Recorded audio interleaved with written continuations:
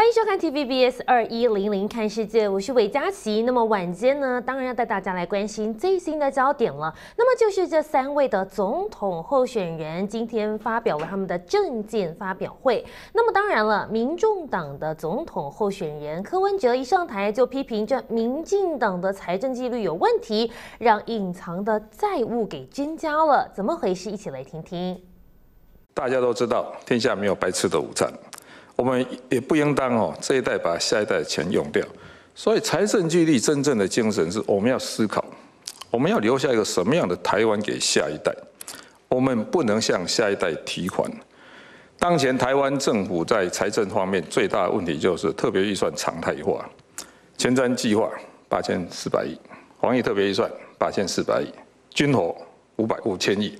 那如果再加上那一些一般预算的话，军火也买了一兆。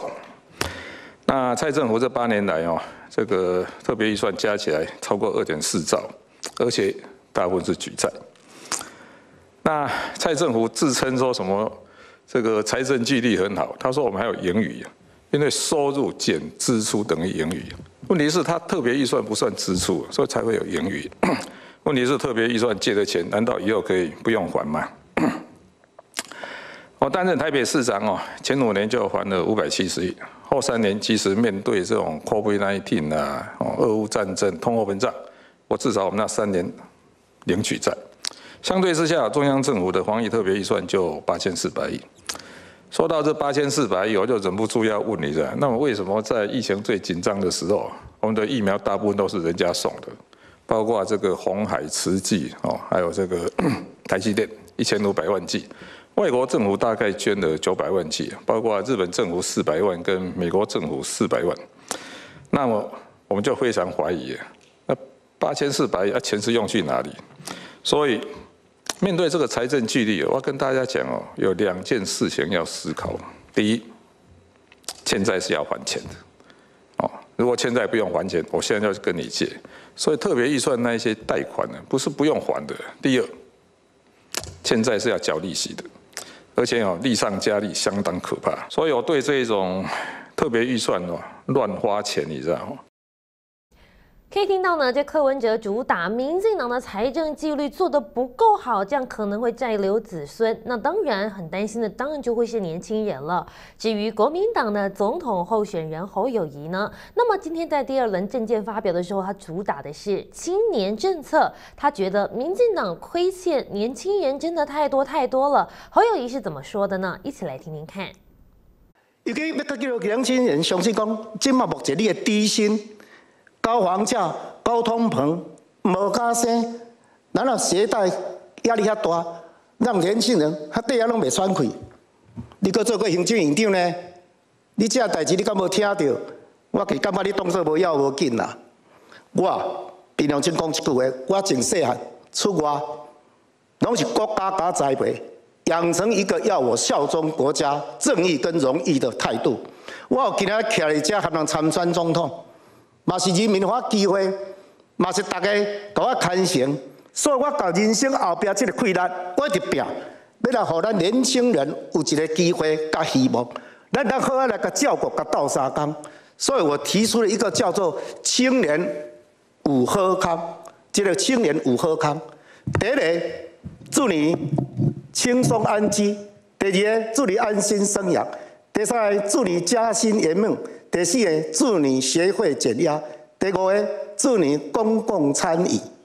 尤其做总统，经营代志较易的时阵，都爱和年轻人搬乱斗阵，听因的声音嘛。所以我总统府到行政院，我会请年轻朋友来当实习生嘛。我会召开青年的国事会议嘛，再再为青年人来想，同时让网络在发达的时代。我要推一个公共政策的网络参与平台嘛，超过十万人，咱就来开公听会，啊，到底问题的取会，咱要安怎来甲解决嘛？今日工作实在话，现在年轻人做万叹政府，这几年来，年轻人是过得真的让大家觉得政府真的照顾不多，我们是欠年轻人的。七年瓜。民进党证明你空嘴无知，年轻人的梦想变成空。那么帮年轻人发声，不过最近呢，他们当然就是蓝绿白在三方激辩当中，尤其呢是这个蓝白最近都在主攻赖清德的万里老家违建争议。那么今天呢，赖清德也直接拆弹了，他说接下来呢要把他的老家做一个信托公益，未来甚至可以改成这矿工生活纪念馆。一起来听一看他是怎么说的。最近我家的房老房子受到蓝白攻击。也引起社会的关注。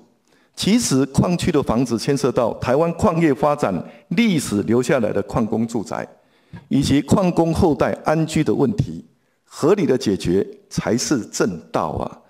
不是在多年后只做到认定寄存违建、拍照存档就当做解决。因为矿区内的每一个房子都没有特权，只有满屋子的辛酸。这些房子都在区域计划法施行前。就已经合法存在。矿权废止后，政府并没有妥善处理他们的居住权，无法可申请年久失修，自行修建是很自然的事情。所以这些房子应该是寄存建筑，和都市计划内有法可遵循的违建概念不同，应该要获得合理的解决。最近我看到矿区内乡亲担心安身立命的房子被视为违建，也担心被拆除，我感到过意不去。我有责任来协助大家找出一条道路，保障大家的居住权益。在矿区的居住权获得保障之后，为了要纪念那个年代矿工对台湾经济的贡献，我愿意把房子交付公益信托。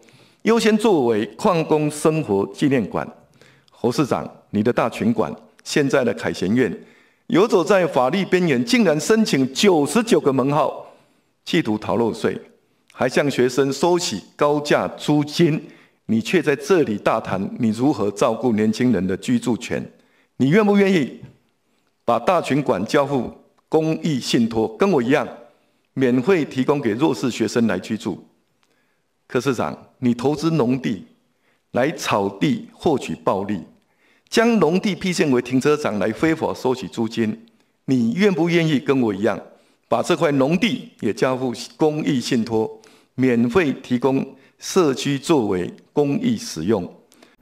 看完了国内的政治，先带大家来看看今天的国际焦点有什么重点。那么就带您继续关注到的是以哈冲突的部分。那么现在以哈还持续爆发冲突，不过呢，现在也门的叛军不甩美国组成的十国护航联盟，他们继续来蹭香，怎么回事？原来是也门的青年运动呢。他们说美国的多国部队其实他们并没有什么的正当理由，所以他们把红海给军事化了。接下来他们可能每十二个小时就就要来做一次海上行动，专家就说了，他们试图让以色列侵入加沙的成本变高，增加以色列支持者他们的成本，洗脑国际航运的业者。为什么会讲到航运这个部分呢？我们就要带你来看了。其实这个地方呢，尤其是在苏伊士运河这个地方，是波湾输欧美战略的要道之外呢，它还牵就了牵动了整个全球的物价上涨。那么呢，其实包括在这个地方，现在有很多的航运都没。没有办法来航行，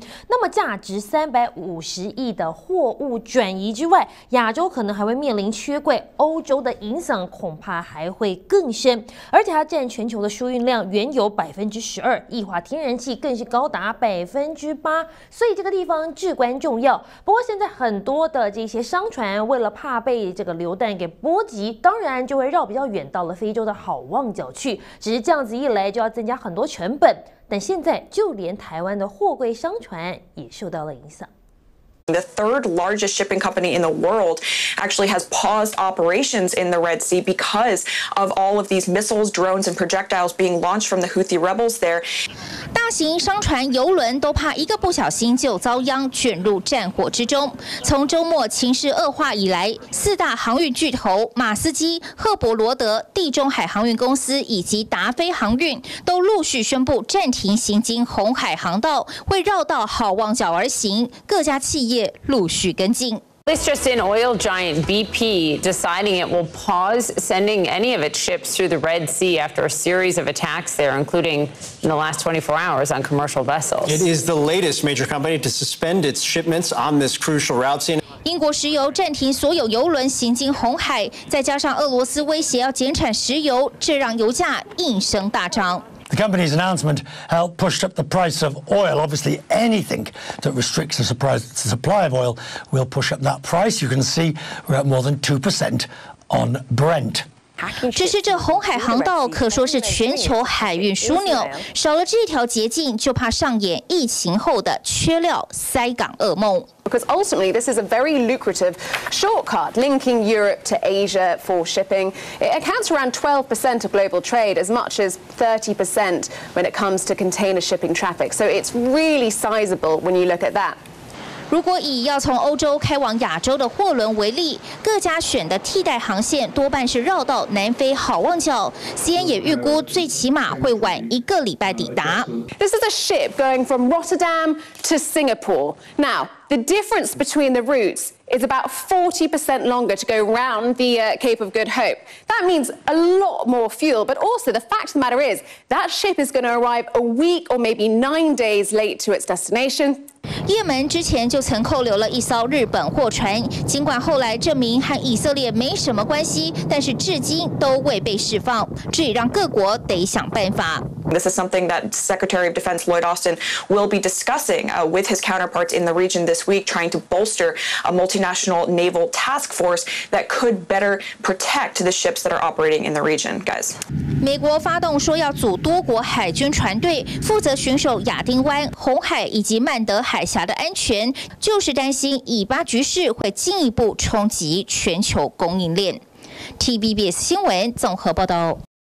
在以巴冲突延烧的同时，别忘了，其实乌俄战争也持续在开打。而现在乌克兰比较少了国际关注的时候，他们打算现在还要再征用五十万大军。只不过美国的援助今年恐怕过不了了，对乌克兰来讲恐怕有一点辛苦。我们就带你来看到的是乌克兰总统泽伦斯基，他说了，这场战争似乎看不到结束的迹象，所以军方提议再征召四十五到五十万的兵力，那么与前线的士兵来轮换。那么他认为呢，就公平、跟国防能力、跟财政，目前考量到这几个问题，暂时是被驳回了。不过现在呢，最新的消息是，泽伦斯基暂时先打消这样的念头，因为他现在在国内的支持率也不断的往下探。如果再征兵的话，恐怕会让他的支持率更往下掉。只不过我们带你看到的是，其实在美国这个援乌加强美国边境安全捆绑式法案继续在谈判当中，想要在耶诞节前通过。恐怕是没有办法了。那么这钱可能在月底就要花光光了。纽什跟谢纳学院他们现在就做出了一个最新的民调显示，美国总统拜登呢，他们现在呢，哎就被问到了，您觉得您对他处理以巴的态度怎么样？有百分之五十七的人认为不满意他处理这样以巴的态度，甚至呢最反感的是年轻选民。那谁比较有能力处理呢？诶，他跟拜登比起来，竟然是拜登以百分之四十六赢过他的百分之。三十八，所以呢，现在白宫也警告了，现在在乌克兰的援助经费年底就要用尽了，所以现在乌克兰当然也很紧张。It's slow, dangerous, and a real sense of well despair. CNN 记者到乌克兰前线感受士气低迷，在西方援助缩水下苦战，对面的俄军还动用了新武器。Medical reports confirmed their poisoning, and Ukrainian official told CNN a form of CS gas was being used. It's slow, dangerous, and a real sense of despair. 军指控俄军用无人机空投毒气罐，不断猛攻，让乌军退居下风。为了持续抗战，总统泽伦斯基在年终记者会上抛出扩大征兵的震撼弹。На ставці, що вони запропонували мобілізувати додаткових 只是制胜关键不只是兵力还有西方军援不能断。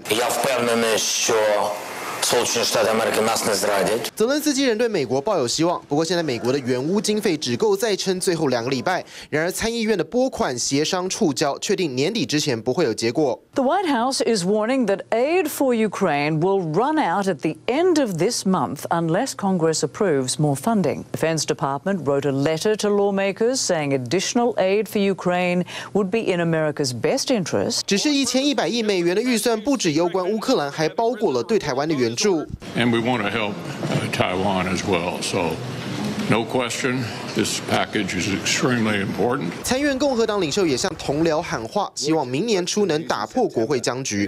体育全报道。那么到现在呢，其实不止台湾的总统大选打得火热，在美国的总统大选也越来越白热化了。只不过最近有一个议题呢，让大家觉得听了都吓一跳，那就是这史无前例在科罗拉多州的选票呢，他们现在是禁列川普，怎么回事？原来是科罗拉多州的最高法院以四票同意、三票反对，那么现在是通过了川普没有权利参加这一次的总统选举，他也是历史上第一位遭裁定。无权入主白宫的总统候选人。换句话说呢，接下来川普的名字将不会出现在共和党科罗拉多州初选的选票上面。他们说呢，根据宪法第十四条的修正案第三款来规定，曾经宣誓支持捍卫美国宪法的人，但是却参与作乱或反叛的人，不得任公职。那么这裁决将保留到明年一月四号，而且还允许上诉。那么当然了，川普的团队不能够接受。他们的发言人就说了，这裁决有缺陷，而且不民主，他们会请求暂缓执行，而且他们现在都认为这就是执政党民主党他们打的如意算盘。力拼重返白宫的前美国总统川普，没想到却在科罗拉多州狠狠踢到铁板。The Colorado Supreme Court has determined that Donald Trump did engage in insurrection and that his actions have disqualified him from being president. 科罗拉多州最高法院罕见援引美国宪法第十四条修正案第三款，判决川普因为涉及2021年国会暴动，所以不得出现在科罗拉多州初选的选票上。消息一出，正在爱荷华州造势的川普马上说，这就是民主党和左派的阴谋啦。willing to violate the U.S. Constitutions at levels never seen before in order to win this election. 川普团队也表示将尽快上诉。外界热议这项判决只会影响明年三月五号共和党初选结果，能不能真的重创川普选票，还要看其他州会不会跟进。目前传出密西根州也有团体向当地最高法院提出相关上诉。川普在共和党内的对手佛州州长迪尚特虽然没具体回应，不过还是在推特声援川普，批评这是司法滥用。I'll just say it. Biden's too old, and Congress is the most exclusive nursing home in America. 川普另一位劲敌前联合国大使海利则专注猛攻拜登。不过外媒透露，尽管拜登年纪成为民主党人最担心因素，总统本人却不想服老。 Aides feel that he does not know his own physical limitations and that he tries to do too much, and you know that has this You know adverse effect where he ends up wearing himself out. 外媒也分析，第一夫人吉尔不断提醒丈夫多休息、少吃垃圾食物，才有好体力继续拼连任。TVBS 新闻综合报道。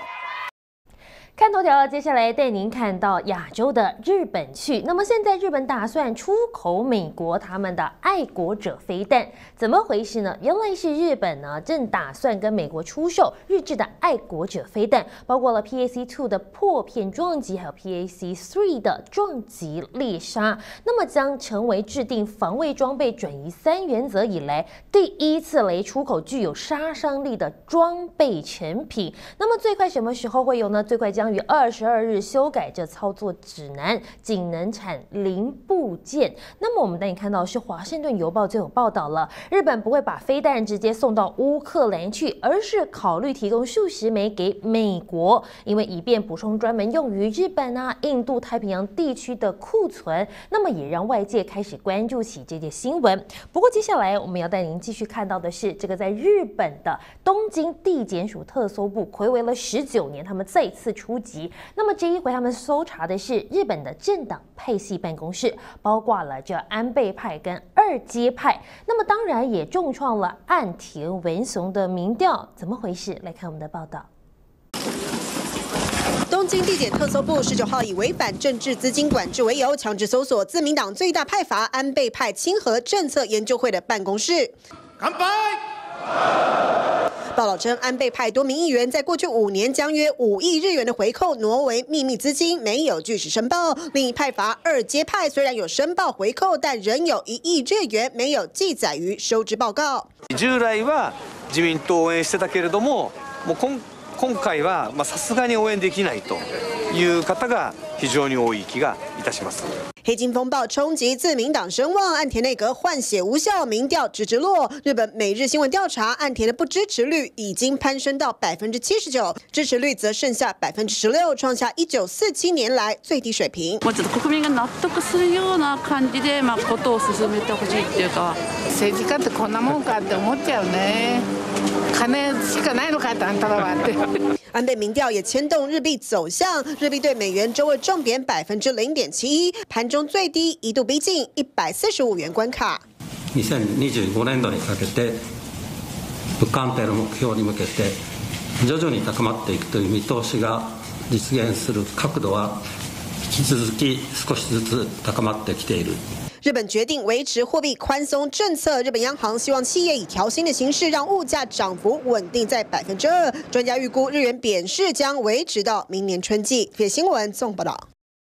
不过看到日元呢持续贬值，那么很多的观众朋友都觉得说，那当然要趁现在赶快去日本，尤其是很多人想要到日本趁这个冬季赶快来看雪，因为毕竟台湾比较难下雪嘛。不晓得观众朋友你会不会也想要去日本呢？但是如果要去日本，一定要特别注意这个消息了，因为日本要出现十年一遇的超低温，而且要小心大雪。我们带你来看到日本气象厅说呢，在西边的日本、北边的日本等日本海沿岸，二十一号开始整。体刮起强风，还会降雪。那么北边的陆地还会出现警报级的大雪，预估二十八日起才会回温。这波的强烈寒流一定要特别注意，因为在二十号会流入日本列岛，会迎来十年一度的超低温。那么这超低温当然也会带来强降雪。那么这个雪呢，他们怎么估计呢？他们说呢，这二十四小时的降雪量估计在北海道会有五十公分，北边的陆地也会有四十公分。中国跟九州的。的北部则是十五公分，所以一定要提醒要往日韩去的观众朋友，出发之前别忘了先看一下气象，那么一定要做好保暖工作，免得去到那边没有玩到，反而还失望了。一架原本在跑道上停好好的飞机，突然开始自行向前滑行，还转向，机更撞翻登机梯，现场状况宛如灵异现象。这是发生在阿根廷的河西纽贝瑞机场，因为当地遭遇强风袭击，甚至一度刮起时速一百六十公里，相当于十五级的强阵风，让飞机竟然可以自行滑行。登机梯同样也被强风吹跑，最后撞到空货柜才停下来。所幸没有造成人员伤亡，但有上百架航班被迫取消。镜头来到东亚，民众从头到脚包得紧紧的，在狂风暴雪中快步走回家。北极冷空气南下，日本海一侧从北到南变成银白世界。从二十号早上六点到隔天早上二十四小时内，北海道降雪量高达五十公分，北陆地区也有四十公分，北九州则降下十五公分。日本气象厅更发布早期天气警报，警告这十年一遇的低温和大雪，从当地周四到周六之间会变得更强。另外，南韩同样也陷入极冻世界。우선내일까지제주산지와전북서해안지역에30 cm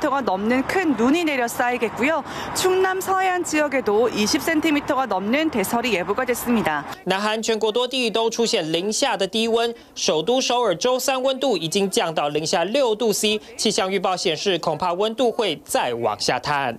내일서울 최저 기온이 영하 15도까지 곤두박질치는가 하면 올겨울 들어 가장 추운 아침이 예상이 됩니 다。 随着气温逐步下降，还可能降下大雪。南韩当局呼吁民众上下班时多注意。自身安全。TBB 的新闻综合报道。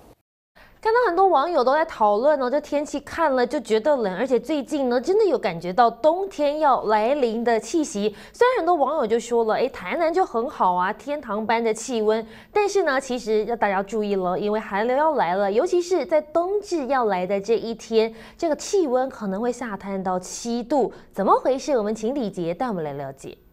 今天晚上开始就会大降温，但是现在还不是最冷的时候。目前预估最冷的时间点会落在星期五的清晨，有可能会下探到七度，而且呢，在两千公尺以上的高山是有可能可以看到冰线的。那我们看一下这几天的温度变化，其实从今天晚上开始呢，温度是直接走下坡，而且呢，最低的时间点就在星期四的晚上到星期五的清晨，这个地方啊，在北台湾有可能会下探到七度，大家真的要穿暖。而在下雨的部分呢，可以看到迎封面在整个东北部地区降雨的状况是最明显的，因此在这边为大家重点整理，也就从今天晚上开始，温度会全台一路走降，不管北中南都会感受到明显的下降，而且呢，在迎风面东半部地区，其实呢下雨的机会会比较多一点点，而中南部的山区其实也是有机会会下雨的。另外可以看到最低温会落在星期四的晚上到星期五的清晨，而接下来呢，从今天入夜之后就会开始大降温，会降到什么程度呢？在北台湾可能会来到十二度到十四度左右，而中南部地区也会落在十四度到十六度。而像现在湿湿冷冷的天气，大家就想会不会下雪呢？不会知道，虽然呢这个下一波水汽在星期五会来到，不过这个温度还是没有达到零度以下。因此目前预估呢，在这个北台湾，包括台北、宜兰、花莲的山区，只要两千公尺以上的高高山上面，还是有机会可以看到结冰或者是一些冰线等等。不过可以知道，现在呢这个温度直接走降，大家保暖衣物赶快拿出来，千万别着凉了。那么也很多网友在讨论说，这七度是不是还好？可能大家的耐冷程度不一样，但是冬至来了，还是要保暖一点比较安全。不过我们要带您来看到中国大陆的焦点，在大陆的青海跟甘肃发生了六点二的地震。那么救援行动目前还在持续进行当中，只不过最近呢，已经出现了一些沙涌的现象，也就是大量的淤沙呢涌出。那么现在也靠大型机具来清除这些淤泥。大陆央视记者前往青海的地震重灾区，发现村子原本的一条公路以及两侧的房子和一块空地都被淤泥覆盖了。空拍画面一目了然，只有一个惨字能形容。这个淤泥是什么样子呢？我们可以看一下，我挖起一块给大家看一眼。它特别的湿，而且呢很稠很黏。救援人员就告诉我啊，说它的重量大、密度大，单靠手挖挖不动，只能依靠重型的机械。单纯的地震造成了房屋建筑倒塌，或许民众能借由倒塌产生的空隙呼吸，或者是等待救援。但这种淤泥整片覆盖，它填满了所有孔洞，让幸存者的生存机会更加渺茫。根本是想不到啊，声音大得很。前面那个呱啦呱啦呱啦就那种声音，在这个树舍的那个声音，哗啦哗啦，感觉不可思议。从哪来的这这么多泥土？原来附近的一条河沟，大地震后造成了沙涌。将河沟填满后溢出，蔓延到附近的村子，情况如同土石流埋村。其实，在强震发生之后的话，由于地壳的这种震动，就会把地下这种深处的这种含水的这个沙土进行这种有一种强烈液化的现象。那么，这种液化的沙层的话，就会沿着一定的通道受到挤压的话，就会直接达到这个地表。大陆武警在青海地震的现场持续救援。我们中队主要是担负一线的救援任务，我们支队还派出了卫生队，总队也派出了这个卫生队，有这个医疗救护组，有现场的救援组，还有后勤保障组。至于此次沙涌的现象比较多，是否代表着后续可能有更大的地震？大陆专家表示，目前没有直接关联。TVB 新闻张家宝、陈相如综合报道。而在冰岛的哈加费尔火山呢，在当地时间周一也来喷发了。不过呢，在这爆发之后呢，现在专家认为这熔岩的强度呢似乎是越来越弱，所以也就让这些媒体记者们可以越靠近这喷发口来做连线报道。滚烫的岩浆和气体不断喷发。冰岛西南端雷克雅内斯半岛上的哈加费尔火山在当地周一爆发后，现在火山喷发强度似乎逐渐减弱。当局也让国际媒体记者纷纷靠近火山喷发处连线。The town of Grindavik looks to be safe. The Blue Lagoon looks to be safe. The infrastructure, the power plants look to be safe.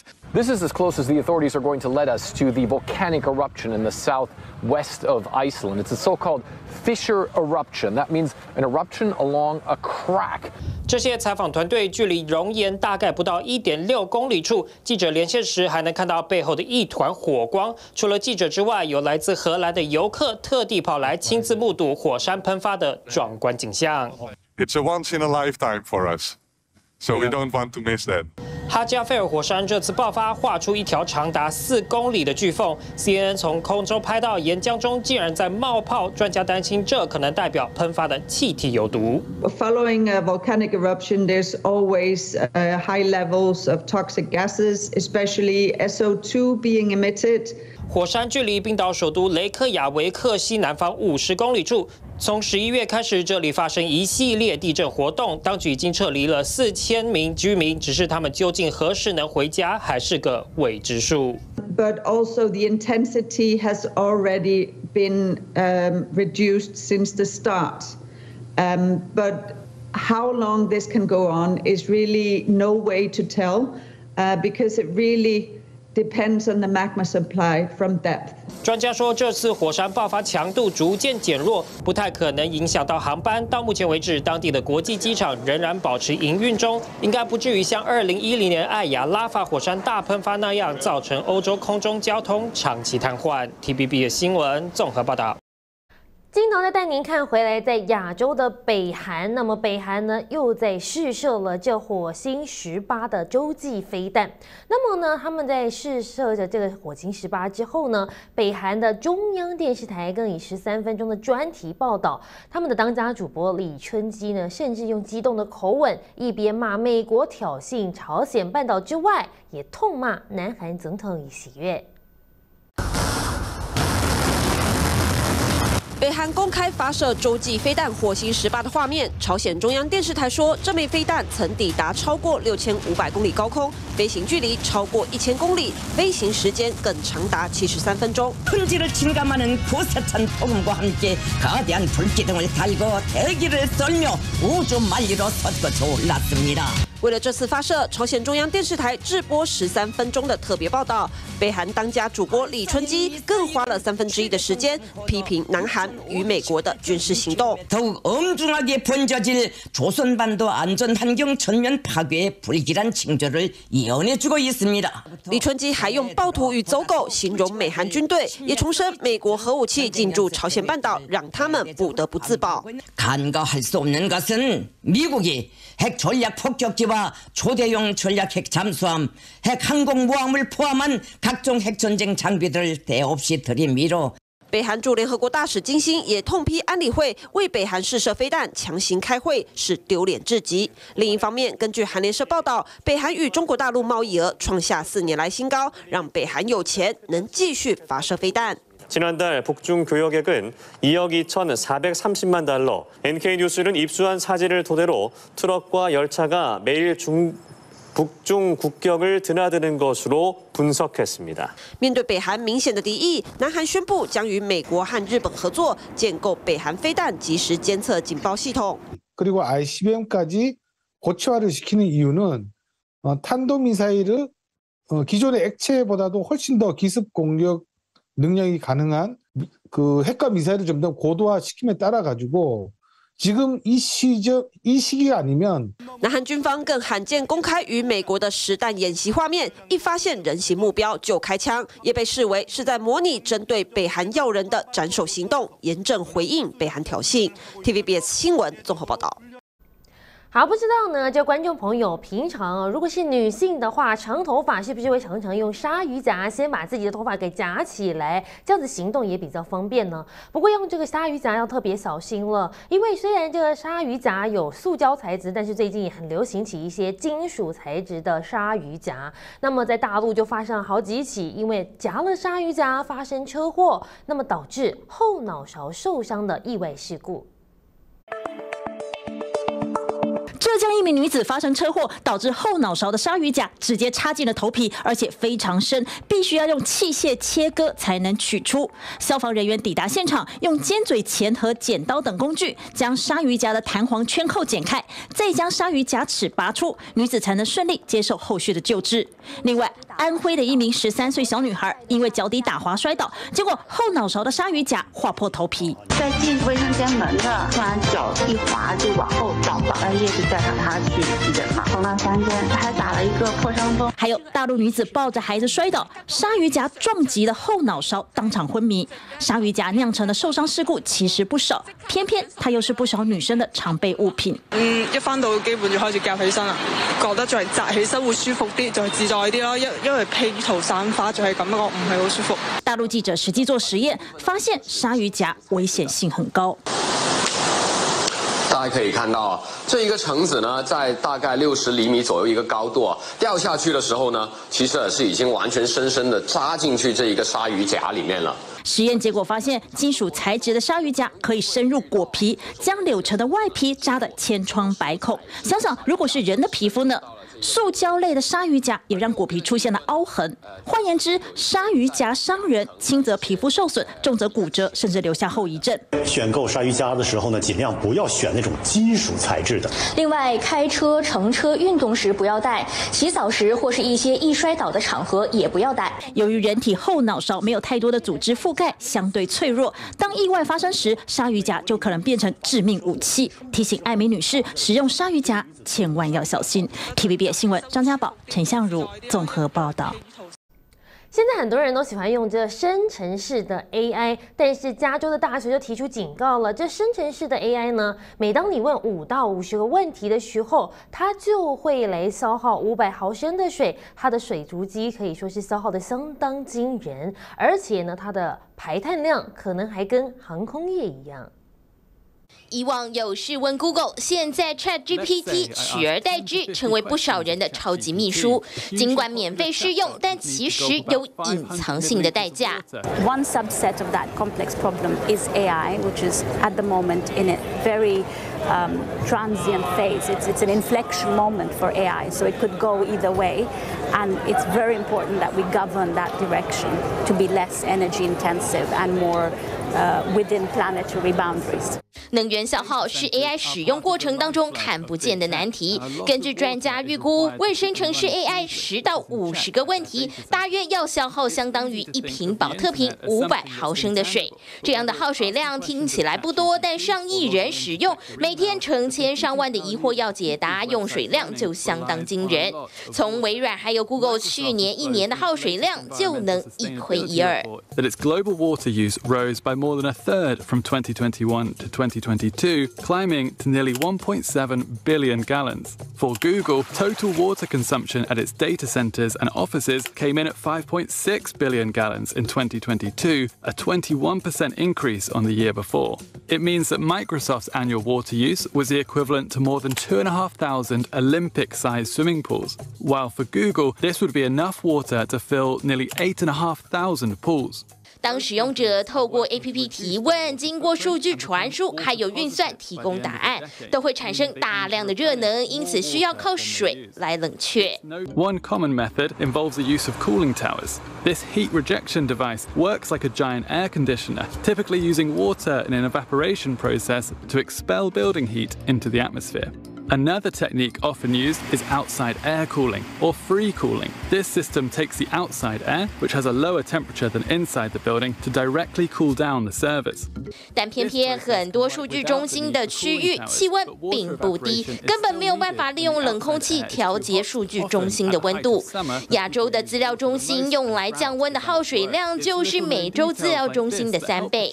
Google 先前就传出有意要在乌拉圭打造数据中心，但但当地夏天气温大约二十八、二十九度，加上又遭逢七十四年来最严重的干旱，根本无力承担数据中心的水源消耗，一度引发民众不满，走上街头。In general, the public is getting more knowledgeable and aware of the water issue. If they learn that the, uh, the big techs are taking away their water resources and they're not getting enough water, nobody will like it. I think we're going to see more clashes over the water usage in the coming years as well. So these type of risks will have to be taken care of by the companies.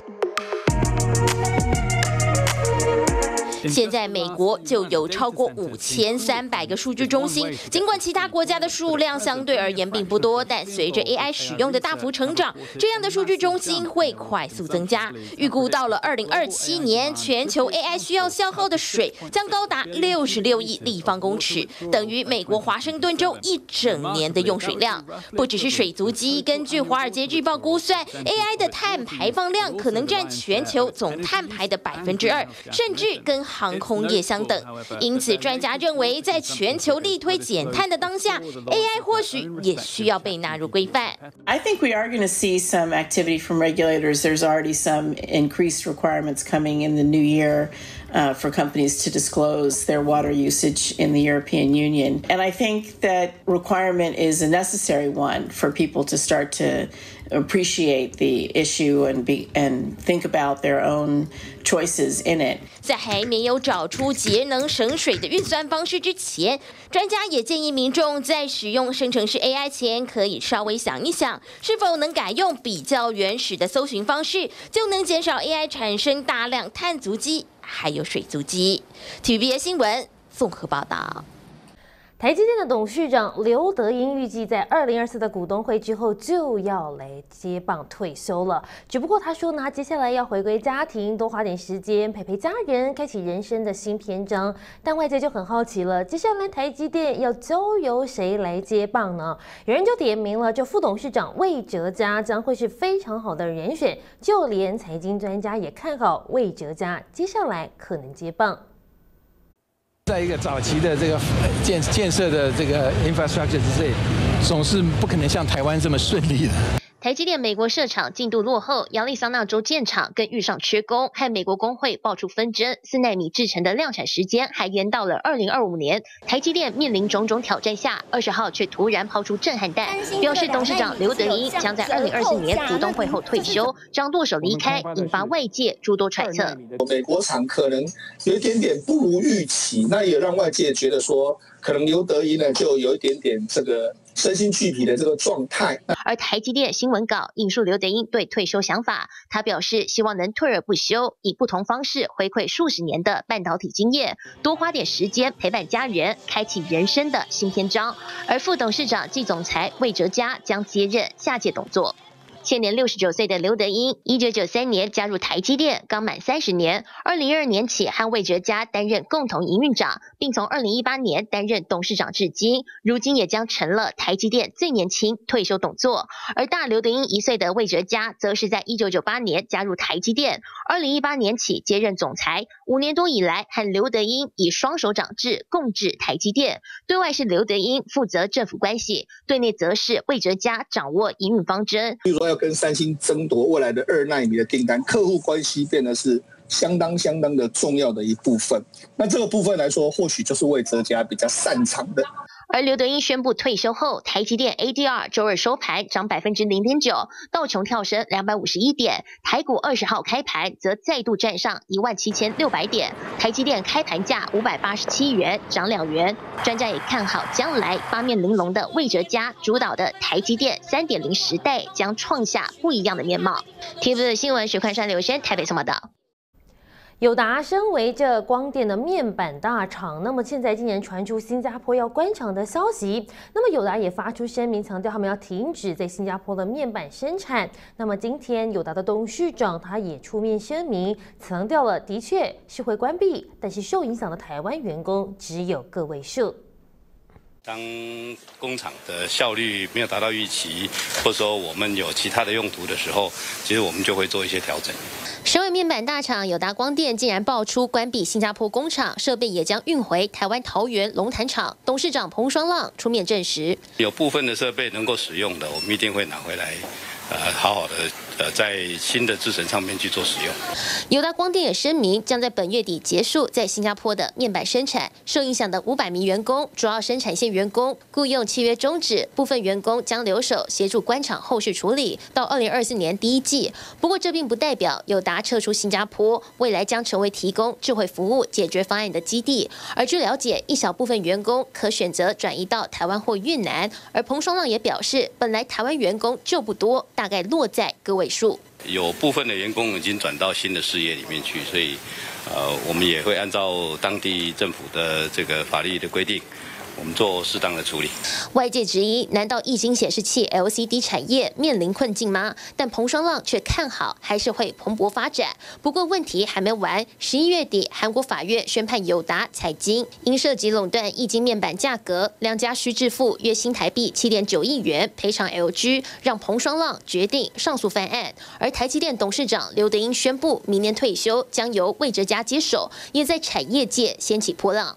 有点累吧？我想他是这样。工作压力太难，就连和硕董事长童子贤也直言太突然了。但财经专家分析，或许美国厂建厂一波三折，恐怕让刘德英萌生退休念头，也在半导体产业投下震撼弹。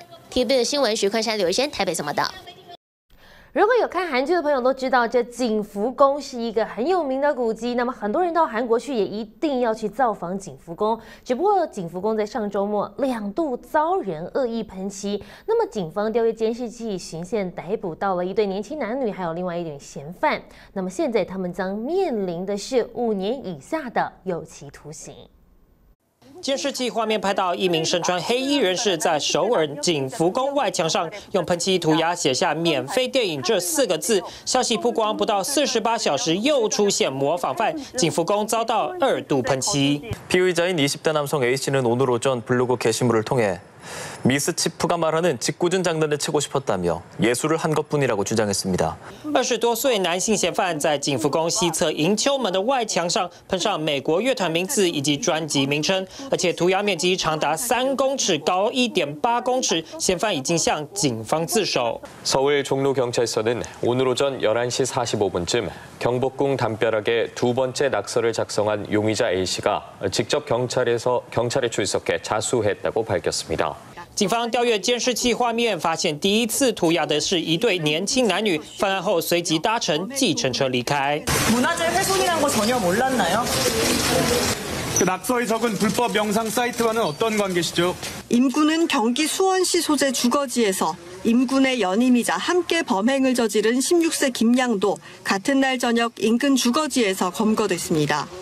两人供称是跟友人打赌，受到金钱诱惑才犯案。至于毁损文化古迹，这三人恐怕将被判处五年以下有期徒刑。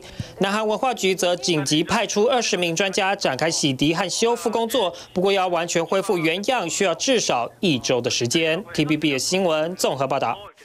随着天气的变化，不晓得观众朋友没有发现，最近身边的人好像感冒变多了。有人就认为这新冠疫情是不是要回来了？而现在在新加坡跟马来西亚，当然也是疫情升温拉警报，就连印尼也严阵以待。我们现在也来看到新加坡的情形呢，从十二月三号到九号，已经有五万六千零四十三例，前一周才三万两千零三十五例，上升了百分之七十五。住院的人数也从两百二十。十五人增加到三百五十人，他们现在加开治疗设施，恢复通报病例数。很多人看到这个都觉得说，好像当时新冠疫情那种严重的感觉，好像慢慢又回来了，所以不少人都会很紧张。那么在新加坡附近的马来西亚呢，他们在十二月三号到十二月九号呢，也有十二万七百五十七例，跟前一周相比上升了百分之八十八。确诊者现在也要隔离五天。那么现在在印尼的机场当然也是严加把关边境了。游客入境如果有症状的话，你就必须要来做检疫。入境点启用感热扫仪器，那么呢，为入境客来准备这些卫生设施，甚至他们现在非常的建议所有的游客或者是他们的国民，在国内是尽量戴口罩，而且要来施打追加剂。避免这新冠疫情再次卷土重来大爆发。只不过我们要继续带您来看到的是，诶，在这个中南海的局势现在似乎是越来越紧张了。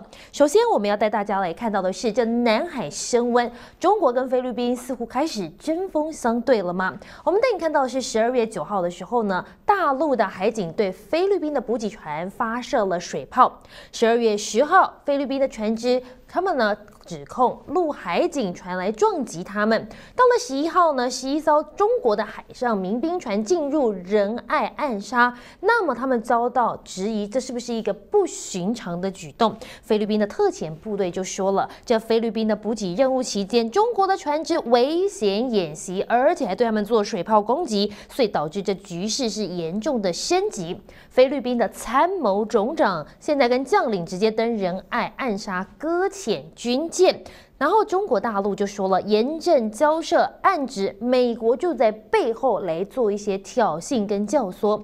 只不过现在呢，穿梭于中非之间的富商当然就很紧张，他也不希望这局势升温了。所以现在这菲律宾的首富斯蒂斯就说了，喊话千万不要敌视邻国，反而也卷入了美中的竞争当中。小马可是对中强硬反击，也引起了很多。菲律宾界的企业呢，他们的企业界里面的一些代表非常的不安，他们担心接下来是不是就没有办法来跟中国做生意了。只不过不可忽视的是，中国大陆的确现在已经在崛起，尤其是在海上更是不容小觑。那么呢，这一季呢，他们就不断的示警，着美国的智库学者就说了，他说中国大陆正在建造一个新型的核动力潜舰。那么拜科技之次呢，他们现在在水中的发展可以说是越越来越好了，而且呢，他们长期的努力之下，现在已经有“水中长水下长城”之称。他们现在甚至可以来监控美国或是他们盟国在海上的一举一动。大国角力，强军无止境。举世闻名的战斧巡弋飞弹，近年增添反潜功能后，美国海军如今着手让现役的核动力潜舰都成为载台，剑指当前主要对手。以前之前才是最佳解方。中国大陆前舰阵容和水面战力逐步扩张，各界密切关注了洞沟六型开发状况。原因不只是火力和吨位。传统的车业推进的时候，它在低速航行的时候，它会产生呃一个低频噪音。那这个低频噪音的强度非常大，它可以传播到很远的海域。所以说后来的发展就逐步向高速航、高速高航速跟静音的方向来发展。各国军方和智库一致认为，解放军的新型核潜舰将陆续使用泵喷推进，加上材料技术和设计的突破，使得美军在水下降噪能力不再有绝对优势。美国最先进的海洋级攻击潜舰为例，它的水下航行速度都达到三十节以上最大，它的辐射噪音却能够达到九十五 dB，接近于海洋环境九十 dB。那中国目前研发的呃棒推进技术，其实不只是运用在洞沟六上，其实已经改进到洞沟三的三型的潜舰核潜舰上，那更进一步用在新型的洞沟五三级。以彼之矛攻彼之盾只是第一步，早在二零一七年，北京当局就批准打造传感网络，目标是足以在东海和南海。全天候监控水下动态，那他当然是宣称说进行这个水下的这个水文侦测啊，这个这个天后的等等这些侦测。那其实他的目的可能就是在在这个周边侦测这个中那个美国的这个潜舰。那它的原理大概就是这个在水下部署大概上千个这种这个很敏感的听音系统，然后利用水下电缆啊什么的，然后这各个这个方式跟岸基的这个这个这个接收站哦接那个那个结合起来。计划被称为水下长城。据称，中国大陆已经在关岛周围也进进行配置。从解放军近海防御的战略来看，要掌控第一岛链之内离岸三百里的水域，由岸置火力和庞大的水面舰队来巩固。而前舰是外层作战区最重要的伏击战力，用以对付试图介入台海或区域情势的他国兵力。它的水下监听系统固然可以增加它对。南沙群岛附近周遭水下环境的掌控，但是相较于美军所布放的这个水下监听系统来讲，它的效率还是会差很多。因为美军在第一岛链，它其实已经大致完成了一条完整的水下监听系统，它叫做鱼沟海底防线。基本上除了台湾南部这一段之外，其他地方大概都在美国的掌控之下。那因为美国放的这些水下听音阵列都是在必经之路。然而，类似的概念早在冷战时期，美军为了应对苏联就着手运作。传言美方因应最新情势，有意重启水下听音系统。而美国海军出身的学者更建议，是时候广泛运用水下无人载具反降一军。美军借由这个重启这个水下听音系统，那一方面当然是要能够。掌握中共潜平时掌握中共潜舰的动态，暂时提供强大的早期预警，去执行有效的猎杀。更重要的是借由这些这些系统的建立，它可以分享中共潜舰活动的情报给中国大陆周边的国家，确保这些国家能够在重大的议题上跟。美国合作，那像阿库斯，我觉得也是其中之一。包括联合英国协助澳洲打造核动力前舰，看来早已列入美方捕杀蓝图。只是前舰部队退役人员提醒，解放军也做好准备，见招拆招。那他用这些前舰群，能够形成水下的水下瓮城，瓮城就是三面一围，你进来之后我就把你困死。哎，发会发生会研发出来的水下八卦阵的水下文载群的包围，这是值得后续注意的。水下长城已然不是古文明的代称，放眼现代，更像是地缘冲突之下的无形壁垒。预别新闻何江耶夫台报道。而印尼最近也在面临到大选要来了，那当然呢，他们现在也面临到的是萨卡都的状况。那么印尼的选情是怎么样呢？我们带你来一探究竟。包括了你可以看到执政党的印尼民主奋斗党呢，他们派出的是前中爪哇省长，那么他的支持率大约是两成，他长期担任公职，在社群上受到年轻人喜爱。但是原本名列前茅民调的他呢，最近却反而被超车了，因为他批左科威的战略错误定位。不明。那现在最受欢迎的就是这一组了。现任国防部长搭上总统佐科威长子的这一组印尼前进联盟，支持率大约是四成。那么他有一个佐科威继承人的形象，不过曾经参与镇压、留下人权的污点，在他现在用网络呢帮他重塑形象，也让他在年轻支持度越来越高。那么另外一组则是前雅加达省长阿尼斯，他大概是只有两成的支持度，但是知识分子跟国际观、国际观呢，让很多开明派的目。穆斯林也很支持他，所以现在现在萨卡多的状态就要进入到的是第一轮投票，如果没有人过半，就要进入第二轮投票。不过带您看回到台湾的选举部分，其实你可以看到呢，在台湾呢，那么他们现在啊，大家也很好奇这个大陆到底有没有借选。不过台气联现在是鼓励台商赶快回老带回来到台湾，坚决反台独。距离台湾大选不到一个月，台企联等单位二十号在北京举办了台商投资大陆宣传推介活动。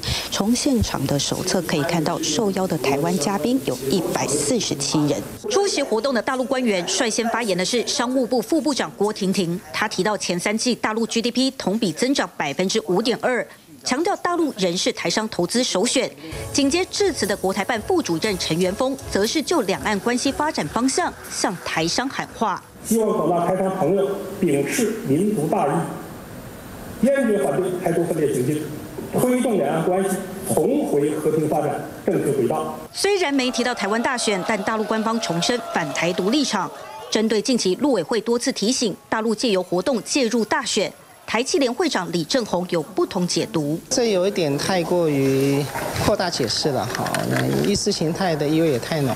另外，对于两岸互动交流会更冷还是回温，台商也普遍认为关键得看二零二四大选结果。呼吁说，在在这边的台商能够回去投票的，尽量都能回去投票，尽国民的责任义务。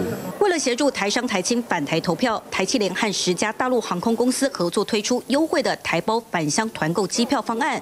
以中国航空为例，北京台北往返只要一千八百元人民币。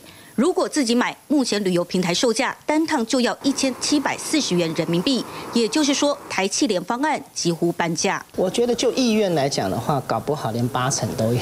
台积联团购机票促销方案并没有和台籍航空公司合作。李正宏表示，疫情后两岸航点从以前最多五十几个，到现在只剩十多个，增加台商返乡投票难度。目前仍在找转机等方式寻求突破点。TVBS 新闻陈旭、林敏珍北京采访报道。而立委候选人今天也来抽号次了，只不过在国民党的台北市立委候选人这边是状况不断，不断有人跑错地方，还有人在现场被枪杀。我们点燃胜利之火！带队国民党小鸡抽号次，台北市长蒋万安当起台北队长，说要拼北市立委八席全上，但奇怪，怎么八缺一？跑到救人那个那个地方，信义路上。车很多，抱抱歉抱歉。我知道方向在哪里，而且我知道远方在哪里，我也知道中正万华要往哪边走，好不好？哈，不要交给一个会迷路的人，交给虞美人。对手抓紧机会猛酸落菜，但蓝营插曲还不止这一个。谢谢谢谢。罗志祥不要躲。罗志祥作为我竞选对手，我们都是大安区的。是谁？台北市长，呃，台北市区立委候选人。OK。朱一鸣加油，五号五高站，五高站，九四强。帮对手宣传，也帮自己宣传，化解这突如其来的尴尬。随着号次出炉，有人也想到用口号双杀对手。良好三坏一出局的这个口号，可以让我们继续使用。一开始在赖清德总统候选人抽到的时候，我们就已经觉得很亲切了。用这种嘲讽或者是用这种哭手的话，只是一时的呃话题。港湖加油，一定赢！趁着绿营互杀，赶快抢攻。只是这回国民党在北市抽到的号次。都不能像这样。台湾双赢，美德双全，我抽到二号。叫我抽到二号啊！我就在想，是不是因为昨天在赖皮聊的时候是 毕业，所以呢，这个魔咒就一直到今天。不能跟侯康一样抽到三号没关系，只要能被选民记得就可以。TVBS 新闻陈胜文、刘玉俊、韦嘉贤三区小组台北采访报道。TVBS 新闻直播回到 YouTube 频道了，提醒您每周一到周五的晚间七点到九点，由新化主播为各位新闻划重点，记得一定要来参加直播。